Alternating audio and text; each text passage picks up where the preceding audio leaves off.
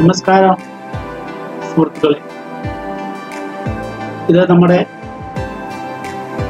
ഏഴാമത്തെ വ്ളോഗാണ്. കഴിഞ്ഞ വ്ളോഗിൽ നമ്മൾ സംസാരിച്ചപ്പോൾ എം എസ് തൃപ്പൂണിത്തറയുടെ മറ്റൊരു വർക്കിനെ കുറിച്ച് നമ്മൾ സൂചിപ്പിച്ചിരുന്നു. ആ വർക്കിന്റെ പേര് സ്നേഹത്തിന്റെ ശ്രാദ്ധം. അത് ഗോപി വിജയന്റെ ചെറുകഥയാണ് അതിനെ ആസ്പദമാക്കി തമിഴ് ശിവപ്രസാദ് സംവിധാനം ചെയ്ത് ടെലികാസ്റ്റ് ചെയ്ത ഒരു വർക്കാണത്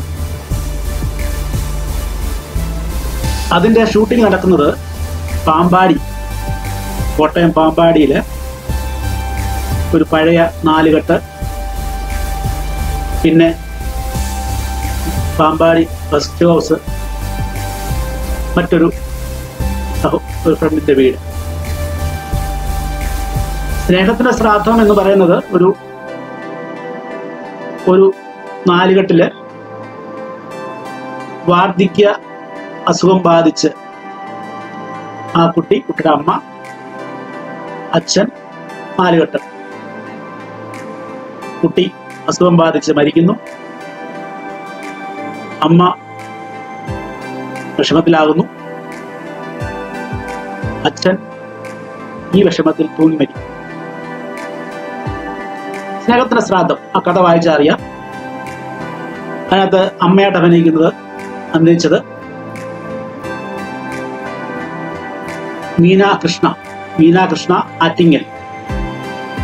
ഇതൊരു പഴയ നടിയാണ്. പഴയ കാല മമ്മൂട്ടിയോടൊക്കെ ശോഭന ഇവരൊക്കെ ഉപയോഗിച്ച പല സിനിമകളിലൊക്കെ ഉള്ള പഴയ ഒരു നടിയാണ് ആറ്റിങ്ങൽ സ്വദേശി മീനാകൃഷ്ണയാണ് അമ്മയുടെ വേഷം ചെയ്തത്. എന്റെ ബാല്യം ചെയ് ബാല്യത്തിലുള്ള കുട്ടിയുടെ വേഷം വേറെ ന്യൂ ഫേസും അച്ഛനും മറ്റൊരാൾ മൂസ മൂസ സാറാന്ന് തോന്നുന്നു. അച്ഛനും അച്ഛൻ തൂങ്ങി മരിക്കുന്നു. അമ്മ അതിന് പുറകെ മരിക്കുന്നു. ഈ തറവാട് വാങ്ങുവാൻ വേണ്ടി മൽ- മലേഷ്യയിൽ നിന്നും ഒരു കുടുംബം എത്തുന്നു ആ കുടുംബം കുമാരമേനോനെ ഭാര്യ സുശീല രണ്ട് മക്കൾ ഇതേ കുസുമം ആൻഡ് ഉണ്ണി.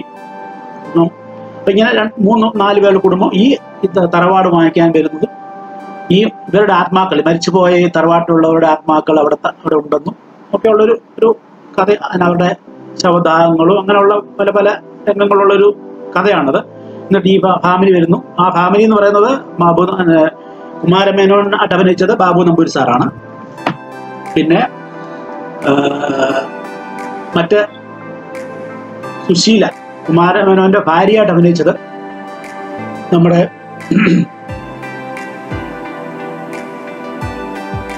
ഒരു ന്യൂസ് ലീഡറായ മായ മായ ശ്രീകുമാർ.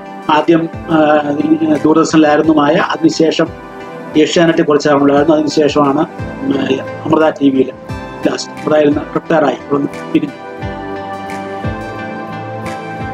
ഒരു മായ ശ്രീകുമാർ ഒരു റിസപ്ഷൻ ആദ്യം ജോലി ചെയ്തുകൊണ്ടിരുന്നത് Shri Uthara Thirunal S U T hospital Trivandrum. അവിടുത്തെ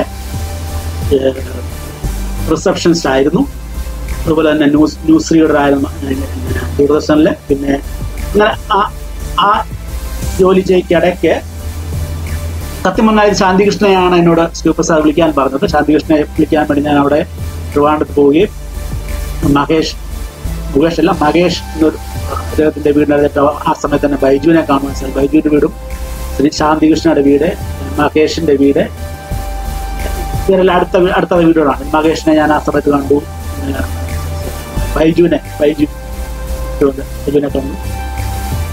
എന്നാൽ ശ്രീ ശാന്തികൃഷ്ണ നമുക്ക് ലഭിച്ചില്ല. ശാന്തികൃഷ്ണ ലഭിച്ചില്ല. അതിന് പകരം ഒരു ആർട്ടിസ്റ്റ് വേണമെന്ന് പറഞ്ഞപ്പോഴാണ് മായാ ശ്രീകുമാറിനെ ബുക്ക് ചെയ്യുകയും മായാ ശ്രീകുമാർ ശ്രീകുമാർ എന്ന് പറയുന്നത് മായയുടെ ഹസ്ബൻഡ് ബാങ്ക് ഉദ്യോഗസ്ഥനാണ്. അവർ രണ്ടുപേരും കൂടെ പാമ്പാടിലെത്തുകയും ഈ വേഷം അഭിനയിക്കുകയുമായി. അപ്പം സുശീല എന്ന കഥാപാത്രത്തെ ഏൽപ്പിച്ചത് മായ ശ്രീകുമാർ. ബാബു നമ്പൂരി സാറാണ് കുമാരമേനോൻ എന്നുള്ള ആ മലേഷ്യയിൽ നിന്ന് വരുന്ന കുടുംബത്തിന്റെ നായകനായിട്ട് പിന്നെ എം എസ് എൽ പൂണത്തറ അവിടുത്തെ ഒരു കാര്യസ്ഥൻ അല്ലെങ്കിൽ അവിടുത്തെ ബ്രോക്കർ എന്ന നിലയിലൊരു വേഷത്തിലാണ് നമ്മുടെ ബാബു നമ്മുടെ എം എസ് ത്രിപുണ സാർ. അത് ദൂരദർശനിൽ തന്നെയാണ് ടെലികാസ്റ്റ് ചെയ്തത്. സ്നേഹത്തിന്റെ ശ്രാദ്ധം എന്ന അതൊരു നല്ല അനുഭവമായിരുന്നു. അത് അതിനകത്ത് ചിതയിലെ ചിത ഉണ്ടാക്കുകയും അതിന്റെ ശവദാഹം നടത്തുകയും ഒക്കെ ചെയ്യുന്ന രംഗങ്ങളൊക്കെ രണ്ടൊന്ന് രണ്ട് ശവദാഹങ്ങളുടെ സീനുണ്ടായിരുന്നു. അതിലെല്ലാം അതിനകത്തൊക്കെയും ചെറിയ ചെറിയ വേഷങ്ങളിലൊക്കെ ഞാൻ അഭിനയിച്ചിട്ടുണ്ട്. പാമ്പാടി വെച്ചായിരുന്നു ഇതിന്റെ ഷൂട്ടിംഗ് പാമ്പാടി റെസ്റ്റ് ഹൗസിൽ താമസിച്ചുകൊണ്ട് ആണത് ചെയ്തത്. ബാബു നമ്പൂരി സാറ് ഇവരെല്ലാം ഉണ്ടായിരുന്നു. നല്ലൊരു വർക്കായിരുന്നു അതിനുശേഷം നമുക്ക് പോകാനുള്ളത് ഞാൻ ചെയ്ത ഉടുപ്പ് വീട്ടിൽ ഞാൻ ഒരു പഴയ ഉടുപ്പിട്ടുണ്ട് ഇറങ്ങിയിരിക്കുകയാണ്. ഉടുപ്പിനെ അത് ഇന്ന് എന്റെ ഞാൻ ഇന്നലെ ഞാൻ എന്റെ വിവാഹ വാർഷികമാണെന്ന് പറഞ്ഞായിരുന്നല്ലോ. ഇരുപത്തിരണ്ടാമത്തെ വിവാഹ വാർഷികം അപ്പൊ ഇരുപത്തിരണ്ടാമത്തെ വർഷം വാർഷികത്തിന് കല്യാണം കഴിഞ്ഞ് ഞങ്ങൾ ഊട്ടിയിൽ പോയപ്പോൾ അന്ന് ഈ ഷർട്ടിലൂടെ ഞാൻ പോയത്. ഈ ഷർട്ട് വേണേ കാണാൻ ഇനി ഞാൻ ആ പോസ്റ്റ് ചെയ്ത് കണ്ട് ഇത് ഇതുണ്ട്. ഇത് ഞാനും വൈഫും കൂടെ ഊട്ടിയിൽ നിൽക്കുന്ന ഒരു ഫോട്ടോ ആയിരുന്നു. ഓക്കെ ആദ്യം ഈ ഷർട്ടാണ് അതായത് ഇരുപത്തിരണ്ട് വർഷം മുമ്പുള്ള ഷർട്ട് അത്. അപ്പൊ ഇരുപത്തിരണ്ട് വർഷം മുമ്പ് അല്ല ഈ ഷർട്ട് ഇതിനു മുമ്പേ നമുക്ക് കോളേജിലോട്ട് പോകാം. സെന്റ് ലൂഷ്യസ് കോളേജിലോട്ട്. ഞാൻ പറഞ്ഞല്ലോ രണ്ടാമത്തെ റീജോ രണ്ടാമത് കോളേജിൽ റീജോയിൻ ചെയ്യുന്നത് എൺപത്തി ആറ് എൺപത്തി ഏഴ് ആ വർഷം ഞാൻ പറഞ്ഞല്ലോ. നമ്മുടെ ഫോർത്ത് ഗ്രൂപ്പിന്റെ റെപ്രസെന്റേറ്റീവ് ആയിരുന്നു. ആ വർഷം chairman Sonam Noronha Shiny vice chairman. Ramsi third D C അങ്ങനെ ആ ഒരു കാല ആ വർഷം. ആ വർഷം നമ്മുടെ കലാലയത്തിൽ കോളേജിൽ ആർട്സ് ക്ലബ് ഉദ്ഘാടനം ചെയ്യാൻ വന്നത് അശോകനാണ്. സുനിൽ ജോസ് ആയിരുന്നു മാഗസിൻ എഡിറ്റർ മാസമായിട്ടാണോ കൗൺസിലർ. സുനിൽ. അപ്പോൾ ആ വർഷം നമ്മുടെ അശോകനെ സ്വീകരിച്ചത് പുറത്ത് ഒരു സ്റ്റേജ് കെട്ടി കോളേജ് ഗ്രൗണ്ടിൽ ഒരു സ്റ്റേജ് കെട്ടി അവിടെ നാടകം ഒക്കെ ഉണ്ട്. എല്ലാം ഉള്ള ഒരു വലിയ ഫംഗ്ഷൻ പുറത്താണ് പുറത്ത് സ്റ്റേജിൽ ഓഡിറ്റോറിയത്തിലായിരുന്നു അന്ന് അശോകൻ നമ്മുടെ കോളേജിൽ വരുമ്പോൾ അശോകനെ സ്വീകരി ഞാൻ പ്രസ് സ്രപ്പായിരുന്ന യൂണിയൻ മെമ്പറായിരുന്നു ആ സമയത്ത് അന്ന് ഇട്ട ഷർട്ട് ഇത് തന്നെയാണ് കഴിഞ്ഞില്ല. അത് first year second year pre degree second year second P D C first P first D C second D C ആയപ്പോൾ ഞാൻ ജനറൽ സെക്രട്ടറി ആ വർഷം നമ്മുടെ കോളേജിന്റെ ജനറൽ സെക്രട്ടറി ആയിരുന്ന ഞാൻ college union arts club November first Kerala പിറവി ഇത് മൂന്നും കൂടി ഒരുമിച്ച് ഒറ്റ ദിവസം നടത്തുന്നത്. അപ്പം യൂണിയൻ ഫണ്ട് കുറവായിരുന്നു. അതുകൊണ്ട് ഒരു ഒരു ഒരുമിച്ച് ഒരു നടത്തിയാൽ മൂന്ന് ഫംഗ്ഷൻസ് ഒരു നടത്താമല്ലോ എന്ന രീതിയിൽ മൂന്ന് ഫംഗ്ഷനും ഒരുമിച്ച് നടത്തുന്ന രീതിയിൽ വേണ്ടി നമുക്ക് ഒരു ആർട്ടിസ്റ്റിനെ വേണം എന്ന രീതിയിൽ നമ്മുടെ മാത്യു ചാക്കോ സാർ മലയാളം ഡിപ്പാർട്ട്മെന്റ് അന്ന് ചാക്കോ സാറ് പറഞ്ഞു ഞാനൊരു ലെറ്റർ തരാം. തിരുവനന്തപുരത്ത് വരെ പോകാമെങ്കിൽ T N Gopinathan Nair sir സാഹിത്യകാരൻ അദ്ദേഹത്തിന് ഞാൻ ലെറ്റർ തരാം. ഞങ്ങൾ ഫ്രണ്ട്സ് ആണ്. ലെറ്റർ കൊണ്ട് പോയാൽ വിളിച്ചാൽ അദ്ദേഹം വരും. ഞാൻ പറയുകയും വിളിക്കുകയും ചെയ്തു അവിടെ ചെന്ന് വിളിച്ചാൽ മതി സംസാരിക്കാം. അങ്ങനെ മാത്യു ചാക്കോ സാറിന്റെ ലെറ്ററുമായിട്ട് തുച്ഛമായ മാഗസിൻ ഫണ്ടുമായിട്ട് ഞാൻ നവംബർ ഫസ്റ്റ് തലേ ദിവസം ഞാൻ രാവിലെ പോന്നു. ഉച്ച- കഴിഞ്ഞ ഈവനിങ് ആകുമ്പോൾ അവിടെ ചെന്നു. നമ്മുടെ ടി എൻ മോഹൻ സാറെ കാണുന്നു.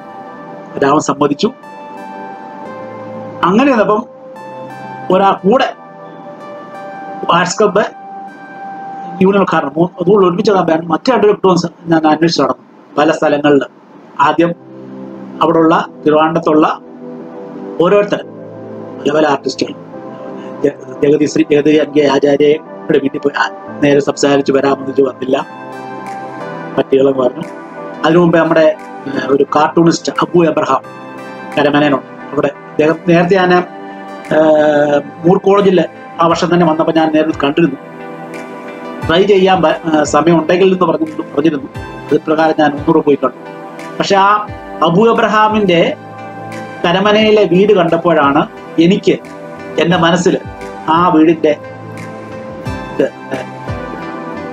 പഴയ രീതിയിലുള്ള ബക്കർ മോഡലിലുള്ള ഭവനം കണ്ടപ്പോൾ അന്ന് എന്റെ മനസ്സിലുണ്ടായ ഒരു തോന്നലാണ് ഇപ്പോൾ ഞാൻ പഠിക്കുന്ന പടുത്തുകൊണ്ടിരിക്കുന്ന വീടിന്റെ. കല്ല് നിഷ്ഠിയ കല്ലുകൊണ്ട്. അത് അന്ന് കിട്ടിയ ഒരു ഒരു കണക്ഷനാണ് എന്റെ ഇപ്പോഴത്തെ വീട് നടന്നുകൊണ്ടിരിക്കുന്ന വീടിന്റെ അത് അന്ന് ഓർത്ത് പറഞ്ഞത് മാത്രം ആ സാറ് എന്നെ വന്നില്ല പിന്നെ ഞാൻ ജലജയുടെ വീട്ടിൽ പോയി ജലജ അവിടെ നമ്മുടെ പുജപ്പരവി പുജപ്പരവിയുടെ വീടിന്റെ നേരെ അടുത്തായിട്ടായിരുന്നു ജലജയുടെ വീട്. പുജപ്പരവി ഉണ്ടായ പുജപ്പരവിയെ കിട്ടിയില്ല. അന്ന് ചെറിയ ലോകം വലിയ മനുഷ്യർ എന്ന സിനിമ ഷൂ നടന്നുകൊണ്ടിരിക്കുന്നു. അപ്പം ജഗതി ശ്രീമാറുണ്ട് മുകേഷ് ഉണ്ട് പിന്നെ ഒരു പലരും അവിടെ ഉണ്ടായിരുന്നു. അവരെയൊക്കെ ശ്രമിച്ചു ആരെങ്കിലും. ഇത് കൂടി നടക്കുക. അപ്പം പെട്ടെന്ന് എനിക്ക് നമ്മുടെ ജോസ് മൈലാൻ എന്നൊരാളിനെ പരിചയപ്പെട്ടു കിട്ടി. ജോസ് മൈലാനും അത് കിട്ടി നമ്മുടെ ആർ ബി ശ്രീകുമാർ എന്ന തിരുവനന്തപുരത്തുള്ള മറ്റൊരു സഹോദര പുള്ളി മിസ്റ്റർ കേരള ഒക്കെ ആയിരുന്നു. പല പല സിനിമകളിലും അദ്ദേഹം ഈ സ്റ്റണ്ട് വേഷത്തിലൊക്കെ അവന് വന്നിട്ടുണ്ട്. മിസ്റ്റർ കേരള ആയിരുന്നു. അദ്ദേഹവും ജോസ് മൈലാൻ. അത് വർഷങ്ങൾ പോയത് അറിയാതെ സിനിമ അടങ്ങിയില്ല ഒഴുകി എം സി ശിരത്തിൽ ആ പാട്ട് ഒക്കെ ഉള്ള ആ- സിനിമ. അതിന്റെ നിർമ്മാതാവൻ ജോസ് മൈലാൻ. അദ്ദേഹത്തെ എനിക്ക് കിട്ടി. ഞങ്ങൾ മൂന്ന് പേരും കൂടെ ഫോട്ടോ എടുത്ത് അവിടെയുള്ള ആർട്ടിസ്റ്റുകളെയൊക്കെ. ഈവനിങ് നൈറ്റ് ആണ്. തലേ നാളത്തെ പരിപാടിക്കാണ്. അത് ഒന്നാം നവംബർ ഒന്നാമത്തെ പരിപാടിക്കാണ് തലേദിവസം ഞങ്ങൾ തിരുവനന്തപുരത്ത് പോകുന്നത്. നമ്മുടെ സുമാറിന്റെ വീട്ടിൽ പോയി. സുമാറിന്റെ വീട് സുകുമാരൻ പറഞ്ഞു ഇസ് മൈ പ്രിൻസിപ്പൾ ഒരു കോളേജിൽ ഞാൻ ഫംഗ്ഷന് പോകത്തില്ല അങ്ങനെ പറഞ്ഞ് സുകുമാരൻ പറ്റത്തില്ല. മോഹൻലാലിന്റെ വീടിന്റെ ഓപ്പോസിറ്റ് ആ സുകുമാരൻ മോഹൻലാലിന്റെ താമസിക്കുന്ന ട്രിവാണ്ടത്തിൽ അവിടെ മോഹൻലാല ഇല്ലായിരുന്നു. പിന്നെ അവിടെ കാണാൻ പറ്റുന്ന പല പല ആൾക്കാർ പല സ്ഥലങ്ങളിൽ ഞാൻ പോയി. അവസാനം ജോസ് സുബാനോടെ പിന്നെ ഹോട്ടൽ ഹൈലാൻഡ്. അവിടെ ചെറിയ ലോകം വലിയ മനുഷ്യരുടെ ഷൂട്ടിന്റെ ചന്ദ്രകുമാർ. അതെ ചന്ദ്രകുമാർ എന്ന ഡയറക്ടറാണ് പിന്നെ അദ്ദേഹത്തിന്റെ താമസ ക്യാമ്പ് അവിടെ ആണെന്ന് പറഞ്ഞു. ഞങ്ങൾ മൂന്ന് പേരും കൂടെ പോയി കാണാനായിട്ട് ആഗ്രഹിക്കുന്നു അപ്പം ഞങ്ങൾ കയറുമ്പോഴത്തേക്ക് പുറത്ത് ടെലിഫോൺ ചെയ്തുകൊണ്ട് ലാൻഡ് അവിടുത്തെ ലാൻഡ് ഫോൺ വെച്ചിട്ടുണ്ട് ആ ലാൻഡ് ഫോൺ ചെയ്തുകൊണ്ട് ജഗന്നാഥ എടുക്കും ശ്രദ്ധിക്കുന്നില്ല. അപ്പൊ ഞങ്ങൾ ചന്ദ്രസേ ചന്ദ്രകുമാർ സാറിനെ കണ്ട് സംസാരിക്കാൻ ഒരു ആർട്ടിസ്റ്റിനെ നാളത്തേക്ക് വേണം എന്ന് പറഞ്ഞപ്പോഴത്തേക്ക് പെട്ടെന്ന് പെട്ടെന്ന് വർമ്മ സാർ അകത്തേക്ക് അപ്പം ചന്ദ്രകുമാർ സാർ പറഞ്ഞു ആ വർമ്മ മതിയല്ലോ നിനക്ക്. പുള്ളി ഒരു പോലീസ് ഓഫീസർ ആണല്ലോ. അന്ന് ഡെപ്യൂട്ടി ഡിവൈഎസ് പി ആയിരുന്നു. മതിയല്ലോ. അപ്പൊ വർമ്മ സാർ വിചാരിച്ചു എന്തോ പുതിയ വർക്കിന് അതായത് ജോസ് മൈലാന്റെ പുതിയ വർക്കിന് വേണ്ടി ഞാൻ മുമ്പ് പടങ്ങളൊക്കെ ചെയ്ത ആളാണല്ലോ ജോസ് മൈലാൻ. അപ്പം പുതിയ വർക്കിന് വേണ്ടിയുള്ള ആവശ്യം. നാളെ ഫ്രീ ആണോ? എന്ന് ചോദിച്ചപ്പോഴത്തേക്ക് അത് അറിയാതെ പറഞ്ഞു. കോളേജിൽ പോകാൻ അറിഞ്ഞില്ല പാവം. പറഞ്ഞു വന്നപ്പോഴത്തേക്ക് ഇങ്ങനെ റീസ് കൂടെ പോകാൻ നാളെ കോളേജ് ചെറിയ ഉണ്ട് ഓ അപ്പൊ പറഞ്ഞു ഓ ഞാൻ വിചാരിച്ച സിനിമ പോയായിരുന്നു. നാളെ എനിക്ക് രാവിലെ ചില പ്രഭാത കർമ്മങ്ങളൊക്കെ എനിക്കുണ്ട് എക്സസൈസ് അതുപോലെ അമ്പലത്തിൽ പോകണം എന്നൊക്കെ പറഞ്ഞ് കുറെ കാര്യങ്ങൾ പറഞ്ഞ. നിങ്ങൾ ആരും കൂടെ വരാമെങ്കിൽ ഞാൻ വരാമെന്ന് പറഞ്ഞിട്ട് അവസാനം ജോസ് മൈലാനും ആർ ബി ശ്രീകുമാറും കൂടെ വരാമെന്ന് പറഞ്ഞിട്ട് ധർമ്മസാറ് വരാൻ സമ്മതിക്കുകയും വീട്ടിൽ പോയി ധർമ്മസാറിനെയും മണസാറിന്റെ മോൾ പ്രിയ ഉണ്ടായിരുന്നു അവിടെ. നമുക്ക് വിവാഹം കഴിച്ചു വിവാഹം കഴിഞ്ഞിട്ടില്ല. പ്രിയ കണ്ടു. അത് മനുവർമ്മ മനു പ്രദീപ്. പ്രദീപ് മനുവർമ്മ ഉണ്ടായിരുന്നു അവിടെ. അന്ന് രാവിലെ പക്ഷേ സത്യം പറയട്ടെ രാവിലെ പോകാൻ വേണ്ടി ഒരു കാർ ഇവിടെ ഒന്ന് ബുക്ക് ചെയ്തു. കടത്തുവായി പോകാൻ വേണ്ടി ഒരു തുറന്നൊരു ഒരു അംബാസഡർ കാറും ബുക്ക് ചെയ്തിട്ട് രാവിലെ റെഡി ആവണം തോന്നുന്നു ആറു മണിക്ക് റെഡി ആയിട്ട് കാറുകാരനിരിക്കുന്നു എൻ സാർ റെഡി ആയിരിക്കുന്നു രാവിലെ പോകാൻ പെട്ടെന്ന് വർമ്മസാറിന് ഏഴ് മണിയാകുമ്പോഴത്തേക്ക് അവിടുന്ന് എട്ട് മണിയാകുമ്പോൾ ഇറങ്ങാൻ പറ്റും. ഏഴ് വരെ കഴിയും അപ്പം തലേദിവസം തന്നെ ഞങ്ങൾ പോയി. വീണ്ടും കെ എസ് സാർ ഇതൊക്കെ സാറേ ചകലം ശ്രമിക്കാൻ നമുക്ക് ഒരു ഒരു ആർട്ടിസ്റ്റോ കിട്ടിയിട്ടുണ്ട്. നമുക്ക് ഒരു എട്ട് മണിക്കൂർ എട്ടരയാകുമ്പോഴത്തേക്ക് തിരിക്കാം പത്തര ഒരു പന്ത്രണ്ട് മണിയൊക്കെ ആകുമ്പോഴത്തേക്ക് ഒരു മണിക്ക് മുമ്പേ അങ്ങെത്താം ഉച്ച കഴിഞ്ഞ് ഫംഗ്ഷൻ ക്രമീകരിച്ചിട്ടുണ്ട്. രാവിലെ കേരളപ്പിറവി പരിപാടികളൊക്കെ രാവിലെ നടത്തി ഉച്ച കഴിഞ്ഞ് അതാക്കാമെന്ന് പറഞ്ഞുകൊണ്ട് പറഞ്ഞിട്ടുണ്ട് എന്ന് പറഞ്ഞ് സമ്മതിപ്പ് ഞങ്ങൾ ഒരുമിച്ച്. ജഗന്നാഥ് വർമ്മ സാറെ ടി എൻ ഗോപിനാഥ് നായർ സാറെ Jose Mylan R B Sreekumar mister നാല് പേരും ഞാനും ഡ്രൈവർ ഇത്രയും പേര് ട്രിവാൻഡ്രത്തു നിന്ന് ഒമ്പത് എട്ട് മണിയാകുമ്പോൾ കഴിഞ്ഞപ്പോഴത്തേക്ക് തിരിച്ച് ഞങ്ങൾ അതിന്റെ ഇടയ്ക്ക് മനുവർമ്മ വിടാൻ വേണ്ടി ആ കാറെ കൊടുത്ത് പോയി. കുറച്ച് താമസിക്കും എട്ടരയാകുമ്പോഴത്തേക്ക് തിരിച്ചു. ഒമ്പതര പത്തര പതിനൊന്നര. പന്ത്രണ്ട് കഴിയുമ്പോഴത്തേക്ക് ഞങ്ങൾ തകഴി ആണ് ഇവിടെ. കടത്തെ വന്നു. കടത്തെ വന്നപ്പോഴത്തേക്ക് അവിടെ രഞ്ജൻ പോലീസ് എസ് ഐ ആ കടത്തലുണ്ടായിരുന്നു. ജീപ്പുമായിട്ട് ഡി വൈ എസ് പി ആണെന്ന്. അപ്പോൾ ചോദിച്ചു any help no no okay പറഞ്ഞിട്ട് ഞങ്ങൾ പോന്നു. പിന്നെ അവിടെ നേരെ ഇടത്തായി ഇടത്തെ വന്നിട്ട് വിളിച്ച് പറഞ്ഞ് ഞങ്ങൾ എത്തിയിട്ടുണ്ട്. ഉച്ച കഴിഞ്ഞ ഫംഗ്ഷൻ അക്ഷയ ഹോട്ടലിൽ പോയി അവർ ഫുഡ് കഴിക്കുന്നു. ഞാൻ പട്ടിണി കഴിക്കാതെ പോയി. കഴിച്ചു അത് ഡിലേ ആയല്ലോ രാവിലെ ഫംഗ്ഷനൊക്കെ നടത്തി. ഉച്ച കഴിഞ്ഞ് ഉദ്ഘാടനം. നല്ല ബഹളം. രണ്ടുപേരും കോളേജിൽ പ്രസംഗിച്ചില്ല. ജസ്റ്റ് ഉദ്ഘാടനം ചെയ്തുകൊണ്ട് അവസാനിപ്പിച്ചു. തക്കാളി പപ്പയറൊക്കെ നല്ല വിഷമായിട്ട് നടന്നു. അദ്ദേഹം ഇറങ്ങി. ഉദ്ഘാടനം കഴിഞ്ഞു. എന്റെ മനസ്സങ്ങ് തകർന്നു. ഞാൻ വണ്ടിയിൽ വിഷമിച്ചിരിക്കുമ്പോൾ മധു സാർ വർമ്മ സാറും ടി എൻ ഗോപിനാഥ് പറയാം വർഗീസ് എന്തിനാ വിഷമിക്കുന്നത് ഇതൊക്കെ സ്വാഭാവിക. പെട്ടെന്ന് വർമ്മ സാർ പറയുന്നു വർഗീസെ ടി എൻ ഗോപിനാഥൻ നായർ സാറിനെ പോലെ ഒരാളെ കൊണ്ട് നമ്മുടെ കോളേജ് യൂണിയൻ ഉദ്ഘാടനം ഉദ്ഘാടനം ചെയ്യുവാൻ കഴിഞ്ഞു. ലോക പ്രശസ്തി. അതിൽ പകരം എന്ത് വേണം. നിങ്ങളുടെ കോളേജിലെ അധ്യാപകർക്കും അനധ്യാപകർക്കും പിള്ളേർക്കും അദ്ദേഹത്തിന്റെ വചനം കേൾക്കാൻ വാക്ക് കേൾക്കുവാൻ പ്രസംഗം കേൾക്കാനുള്ള ആകെ ഭാഗ്യമില്ലാതായി എന്ന് പറഞ്ഞ് എന്നെ ആശ്വസിപ്പിക്കുകയും അവിടെ ഞങ്ങൾ തിരിച്ച് പോകുമ്പോൾ ഒരു മഹാൻ ഒരു കൊട്ട കാരണത്തോട്ട് കയറി. പൊട്ടിയില്ല വർമ്മസാറിന് മടി വീണു വർമ്മസാർ അതോട്ട് പുറത്തിറങ്ങിയിട്ട് ആ എറിഞ്ഞ തന്നെ പിടിച്ചിട്ട് കയ്യിലോട്ട് കൊടുത്തു. മോനെ ഇവിടെ ആ കയ്യിൽ പുറം കൊണ്ടേ കൊടുക്ക. ഇവിടെ മുട്ട കൈ കൊടുത്തിട്ട് അവിടുന്ന് ഇറങ്ങി. ആ വിഷയം ടി എൻ ഗോനാഥ് സാറ് പിന്നെ വാചകമേളയിൽ മനോരമയ്ക്കകത്തിട്ടു.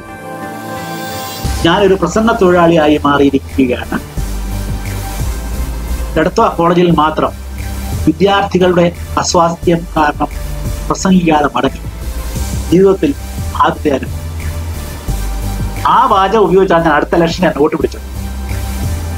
എന്റെ പേപ്പർ കട്ടിങ് അവിടെ നിൽക്കട്ടെ. എന്നോട് ടി എൻ പറഞ്ഞിരുന്നു. എന്നെ ത്രിവാണത്ത് വിടണ്ട. എന്റെ മോൾ മായ. മായ മോൾ കോട്ടയത്തോട്ട് അവിടെ വിട്ടാൽ മതി. പുള്ളി എല്ലാം പാക്ക് എല്ലാ ലഗേജ് എല്ലാം ആയിട്ടാണ് വന്നത്. അപ്പം ഞങ്ങൾ അദ്ദേഹത്തെ കൊണ്ട് വിടാൻ വേണ്ടി ചങ്ങനാശ്ശേരി വഴി കോട്ടയത്ത് കൊണ്ട് വിട്ടു. തിരിച്ച് വരുമ്പോഴത്തേക്ക് നമ്മുടെ വർമ്മ സാറും ജോസ് മേലാനും ആർ ബി ശ്രീകുമാറും എന്നെ അവിടെ പോയ വഴി കണ്ടൊരു ഹോട്ടലിൽ കയറി എന്നാൽ അവിടുന്ന് കഴിക്കുന്നു. അവിടുന്ന് കഴിച്ച് രാത്രി തിരുവനന്തപുരത്തിൽ വന്നു അവിടെ ചെന്ന് തട്ടുദോശ ഉണ്ടായി കഴിച്ചതിന് ശേഷം അപ്പസാറിനെ സാറിനെ വീട്ടിൽ കൊണ്ടുവിടുന്നു. അവർ ചെന്നപ്പോഴത്തേക്ക് കാർ കൂലിയില്ല തികയത്തില്ല. ഇവിടെ ചില കുറച്ച് പൈസ കൂടെ ചിലവായി പോയി ഹോട്ടലിൽ. അറിയാലോ ഓർമ്മ സാറ് ശാലം സംതിങ് അടിക്കുന്ന ആളായിരുന്നു. കുറെ പോയി. തികഞ്ഞില്ല. അപ്പോൾ ഞാൻ നമ്മുടെ ആർ ബി ശ്രീകുമാറിനോട് കുറെ പൈസ ഞാൻ കടം വാങ്ങിച്ചിട്ട് കാർ കൂലി കൊടുത്തു. സെറ്റ് ചെയ്ത് തിരിച്ചു വന്നിട്ട് അടുത്തായ കോളേജ് വന്നിട്ട് ബാങ്കിലുണ്ടായിരുന്ന മോതിരമൊക്കെ പണയാൻ പറ്റി കുറച്ച് പൈസയൊക്കെ അറേഞ്ച് ചെയ്ത് നെക്സ്റ്റ് ഡേ ആ തമ്പാനൂർ പോയി. ശ്രീകുമാറിനെ കണ്ട് ആ പൈസ തിരിച്ചു.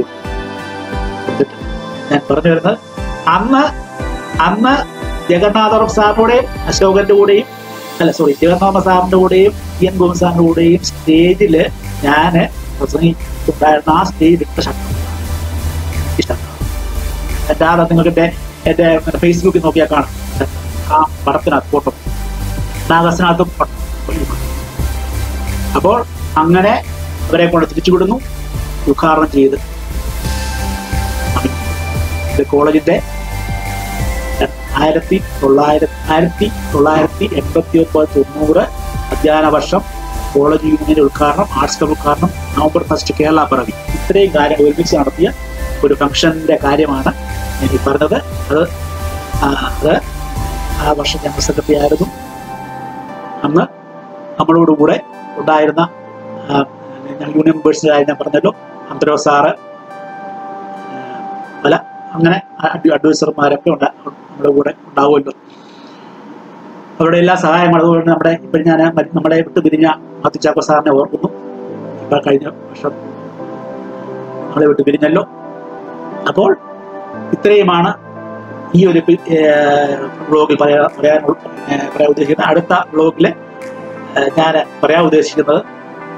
ഇതുമായി ബന്ധപ്പെട്ട ഒരു മറ്റൊരു സംഭവമാണ്. ഇന്നത്തെ ഫേസ്ബുക്കിൽ ഞാൻ എന്റെ ഒരു ചെറിയൊരു അതിന്റെ ഒരു ഹിന്ദി ഞാൻ കൊടുത്തിരുന്നു.